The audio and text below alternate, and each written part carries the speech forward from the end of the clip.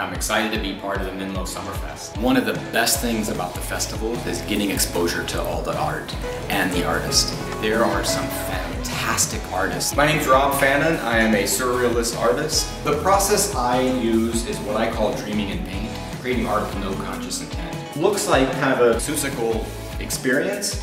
It's always evolving and changing. Come and have a great time at the Fun Run 5K. Summerfest has wonderful kid zones they can play and create their own work of art. Lots of variety and diversity of food choices, as well as great wine and craft beer. It really is a summer party. This incredible lineup, just the energy that they bring. Foreverland tribute band to Michael Jackson. With the music and the excitement, there is quite a treat.